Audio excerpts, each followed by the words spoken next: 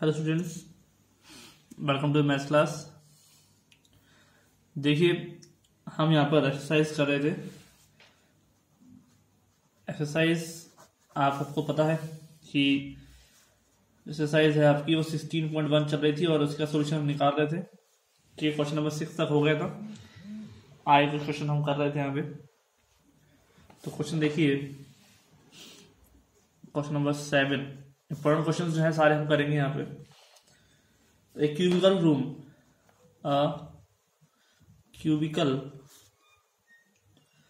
room with square floor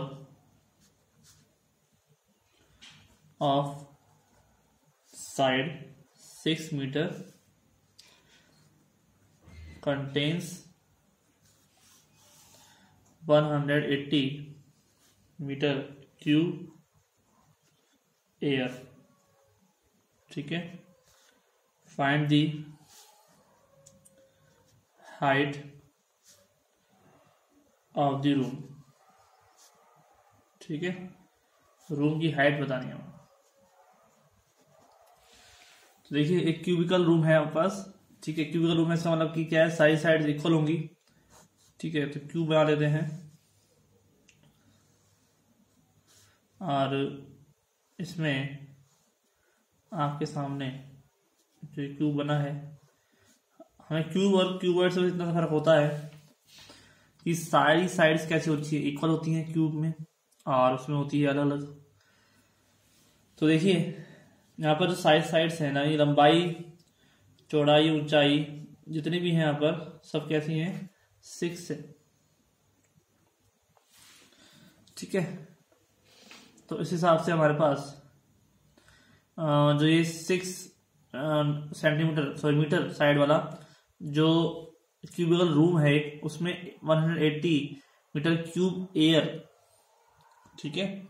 air जो है ना, वो भरी हुई है। जब भी आपके पास क्यूब की बात आती है तो आप ध्यान देना कि हमेशा आपके पास जो बात हो रही है, वो हो रही है वॉल्यूम की, ठीक है? क्योंकि इसके अंदर हम अगर वैल्यू कुछ रख रहे हैं ठीक है? तो वो वैल्यू आपके पास अगर क्यूब मीटर क्यूब है तो मतलब वो वॉल्यूम का ही यूनिट है और वॉल्यूम की बात हो रही है। तो हमें find the height of the room बतानी है। सबसे पहले तो हमको पता होना चाहिए कि जो क्यूब है आपके पास, ठीक है? जो क्यूब है, वो कितना है? अब हाइट की अगर हम बात कर रहे हैं तो इसका मतलब हाइट जो है वो सिक्स नहीं है। हाइट अलग। ठीक है? क्योंकि यहाँ पर क्या है कि स्क्वायर फ्लोर एक रूम विथ स्क्वायर फ्लोर है। ठीक है? तो फ्लोर जो है स्क्वायर लेंथ जो हो जाएगी रूम की, यानी कि एल वो हो जाएगी सिक्स मीटर और जो ब्रेथ है इसकी ऑफ़ रूम यानी कि बी हो जाएगी सिक्स मीटर लेकिन हाइट जो है वो आपके पास नहीं है। हाइट जो एच है, वो हमें फाइंड करनी है। हम क्या कह सकते हैं? ठीक है एच का मतलब एच ही यहाँ पे। तो वॉल्यूम ऑफ़ द जो रूम है। वो दे रखा है आपको 180 मीटर क्यूब ठीक है वॉल्यूम क्या होता है? L into B into H बराबर वन एटी तो एच क्या हो जाएगा? One eighty upon L into B ठीक है? तो one eighty upon L L कितना है? सिक्स मल्टीप्लाई सिक्स ठीक है? सिक्स थ्री जा. एटीन और थ्री टू जा सिक्स तो बच गया टेन अपॉन टू यानी कि फाइव फाइव मीटर क्या है इसकी? हाइट ठीक है? मतलब क्या हुआ? हैंस दी हाइट आप कहोगे, सर, ये जो क्यूबिकल फॉर्म है इसका मतलब तो साइड साइड इक्वल होनी चाहिए थी। साइड इक्वल होती है हाइट की वैल्यू नहीं पूछता हो। और हाइट पूछिए, इसका मतलब क्या है? क्यूबिकल है, लेकिन उसकी हाइट अलग है। जो गिवन साइड है ना, उससे अलग हाइट है। ठीक है? तो hence the height of the room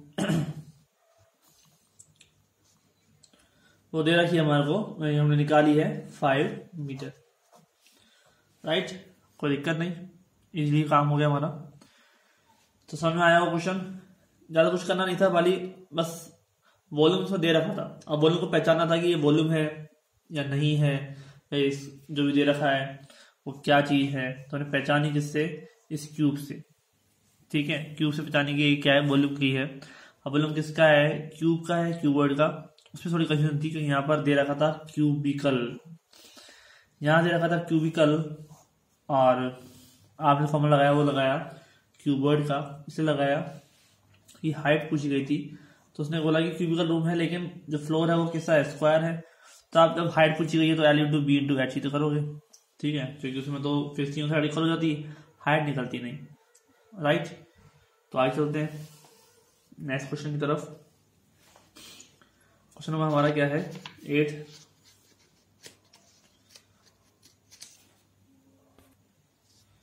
ठीक है? क्वेश्चन नंबर एट लेते हैं।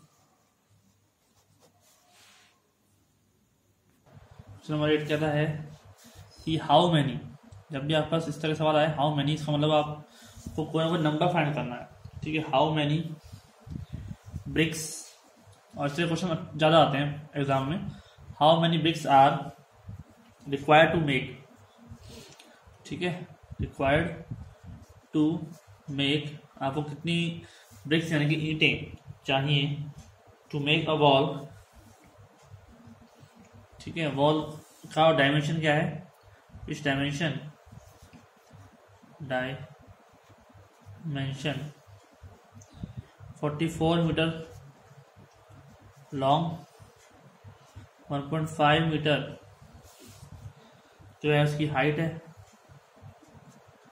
और 85 सेंटीमीटर क्या है? ब्रॉड 85 सेंटीमीटर ब्रॉड अब क्या है यहाँ पर? कि इस यूनिट की ध्यान रखना पड़ेगा, मीटर है या मीटर है, यहाँ पर सेंटीमीटर है। ठीक है ध्यान रखना यूनिट जो है, वो सेम होनी चाहिए सबकी। ठीक है? आगे चलते हैं। फिर कह रहा है कि if dimension of one brick if dimension of one brick आपको एक ब्रिक की डायमेंशन दी जाएगी। यानी कि L to B into H जो है, उसका वो भी दिया जाएगा, और वो है आपका twenty two multiply ten multiply seventeen और सबके सब किसमें है? सेंटीमीटर में। अब ऊपर नीचे क्या है सेंटीमीटर एक ब्रिक के लिए। और ऊपर के लिए क्या है? मीटर तो बताइए, अब काम कैसे चलेगा? तो काम चलेगा हमें सभी को, एक तो हमें चेंज करना होगा एक ही फॉर्म में। ठीक है, और दूसरी बात, एक फॉर्म में चेंज करने के बाद एक काम वो करना है कि आपको जब हाउ मैनी कितने जी इस तरह सवाल आया तो हाउ मैनी देखो आप। हाउ मैनी माने कितने ब्रिक्स की ज़रूरत होगी। तो बड़ा कौन है इसमें? वॉल वॉल बड़ी है तो डायमेंशन बड़ा होगा और एक ब्रिक का छोटा होगा। तो वॉल के डायमेंशन में डिवाइड करना होगा आपको एक ब्रिक का डायमेंशन ठीक है? एक वॉल के डायमेंशन में आपको डिवाइड करना होगा ब्रिक का डायमेंशन तो आप इससे क्या निकाल पाएँगे? आ, कितनी ईंटें लगेंगी एक दीवार को बनाने में? ठीक है? देखिए ध्यान से। जो लेंथ है इसकी, वो है फोर्टी फोर मीटर ठीक है? वॉल की। और जो हाइट है, ठीक है फोर्टी फोर मीटर है मीटर को चेंज सेंटीमीटर में सब सब सेंटीमीटर में खाली ये दोनों ही मीटर में तो forty four multiply hundred equal to forty four hundred centimetre ठीक है? और जो हाइट है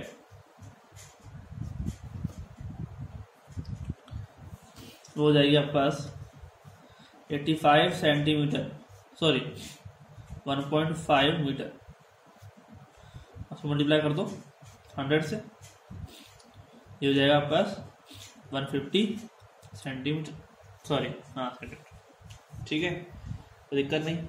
और विथ विथ जो है उसकी, वो तो है ही सेंटीमीटर में। ठीक है? क्या हो जाएगा? Eighty five centimetre. ठीक है? तो दिक्कत नहीं। अब हमारे पास वॉल्यूम ऑफ़ द वॉल। ठीक है? वॉल्यूम क्या है वॉल की? तो वो जाएगा आपके पास लेंथ मल्टीप्लाई ब्रेथ और मल्टीप्लाई हाइट ठीक है? जो वॉल्यूम ऑफ़ द बॉल है ना, वो कितना वॉल्यूम निकालते हैं हमेशा रखना ठीक है? वॉल्यूम निकलता है। जब आपके पास हाउ मैनी की बात आती है ना तो हमेशा वॉल्यूम निकलता है। ठीक है? Length into breadth into height वो हो जाएगा forty four hundred multiply one fifty multiply eighty five ठीक है?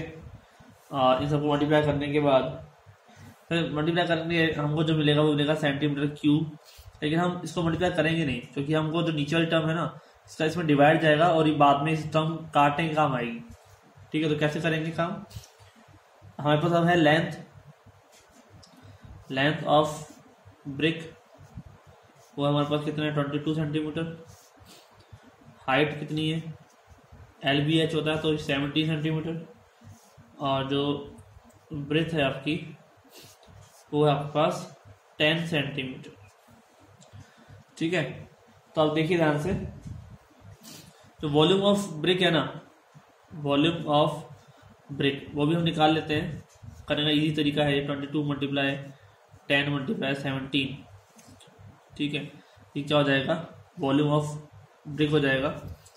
अब दोनों की यूनिट भी सेम है और वॉल्यूम दोनों भी मिल गए। अब जब भी आपके पास आप निकालना नंबर ऑफ़ ब्रिक तो नंबर ऑफ़ ब्रिक जो वॉल्यूम ऑफ़ ब्रिक है ना वॉल्यूम ऑफ़ वॉल के बराबर हो जाएगा, लेकिन एन से मल्टीप्लाई होगा। ठीक है? यानी कि नंबर ऑफ़ अगर ब्रिक निकालना है आपको नंबर ऑफ़ ब्रिक निकालना है तो आप क्या करेंगे? वॉल्यूम ऑफ़ वॉल के अंदर, वॉल्यूम ऑफ़ वॉल में डिवाइड करेंगे, वॉल्यूम ऑफ़ ब्रिक ठीक है? समझ आ गया? वॉल्यूम ऑफ़ वॉल के अंदर क्या करोगे? वॉल्यूम ऑफ़ द ब्रिक यानी वन ब्रिक एक ब्रिक का। ठीक है? और जो भी आंसर आएगा वो आपकी आ जाएगी नंबर ऑफ़ ब्रिक जितनी ब्रिक यूज़ होती है। तो हम क्या देख सकते हैं? हमारे पास जो है क्वेश्चन में क्या हो जाएगा? ऊपर तो है forty four hundred multiply eighty five multiply one fifty और नीचे हमारे पास twenty two multiply ten multiply seventy ठीक है? कोई दिक्कत नहीं। और ये हो जाएगा twenty two twenty two twenty two two जा फोर्टी फोर ठीक है? टू हंड्रेड जो जी से ज़ीरो कैंसिल हो गया। सेवनटीन में सेवनटीन सेवनटीन फाइव जा एट्टी फाइव मैं आपको बताया था पहले भी इजीली कट जाए। ऐसे क्वेश्चंस मिलेंगे आपको। तो नीचे वाले सारे कट गए, ऊपर वाले रह गए खाली। तो ऊपर है ट्वेंटी मल्टीप्लाई फाइव हंड्रेड ठीक है? हंड्रेड मल्टीप्लाई वन फिफ्टी यानी कि फिफ्टीन थाउज़ेंड हो जाएगा टोटल मिलाकर पंद्रह हज़ार ईंटें। फिफ्टीन थाउज़ेंड ठीक है? Hence fifteen thousand bricks will be required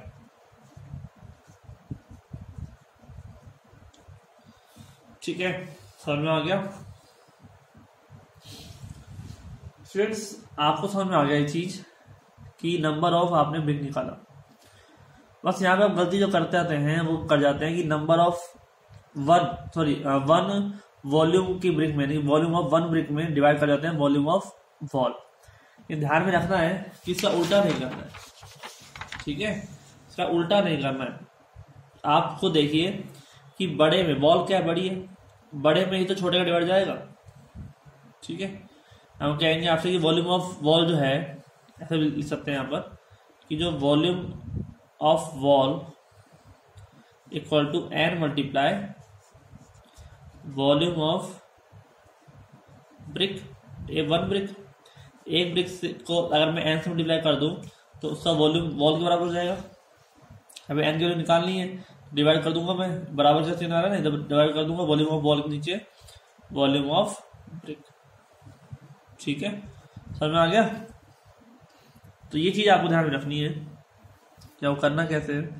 बाकी जो क्वेश्चंस में कैलकुलेशन है, वो तो इजी आएगी। वैल्यू जैसे हम यहाँ पे देखो इजीली कट रही है। इजीली यहाँ पे कट हो रही है। यहाँ पर फोर्टी फोर हंड्रेड है और नीचे देखो एट्टी फाइव है नीचे कितना है? सेवनटीन है। ऊपर फोर्टी फोर है तो थर्टी टू है। इजली यहाँ पर ब्रेक हो रही है। आपको पता होना चाहिए कि कौन कौन से किस किसी टेबल्स अगर आपको याद नहीं है सेवनटीन फाइव एट्टी फाइव है तो आप फिर करते रहोगे। तो अगर मल्टीप्लाई अलग कर दोगे, नीचे मल्टीप्लाई अलग कर दोगे, और फिर उसको डिवाइड कर दोगे। तो ये बहुत लंबा प्रोसेस हो जाएगा, ऐसा आपको नहीं करना है। ऐसे सवाल जो अभी आएँगे आपके पास, उन सवालों में आपको यही काम करना है, ठीक है? ऐसा काम बिल्कुल नहीं करना है कि आप मल्टीप्लाई करने बैठ जाओ। मल्टीप्लाई करने बैठोगे तो बहुत लंबा टाइम हो जाएगा, ठीक है? और फालतू में टाइम वेस्ट करने से अच्छा आपको ब्रेक करना आना चाहिए, सीखो। कि ऊपर जैसे कैसे ब्रेक करते ब्रेक करने में डिवाइडेशन जब हम करते हैं तो वो सेम टेबल से होती है। जैसे हमें सेवनटीन है एटी फाइव है सेवनटीन की टेबल में एटी फाइव आता है। सेवनटीन की टेबल में एटी फाइव आता है। तो इसलिए सेवनटीन को एटी फाइव से ब्रेक करके फाइव लिख दिया। ऐसे ट्वेंटी टू के टेबल में फोर्टी फोर आता है। अगर डबल ज़ीरो दे रखा तो डबल ज़ीरो लगा दिया। ट्वेंटी टू टू जा फोर्टी फोर ठीक है स्टूडेंट्स समझ में आ रहा है? तो कैसे हमें करना है काम ये हम जानते हैं। तो करते हैं फिर आगे। नेक्स्ट लेक्चर में। आज के लिए इतना ही। थैंक यू पढ़ते रहिए आपसे करते रहिए। कोई कोई दिक्कत हो तो पूछते रहिए। Thank you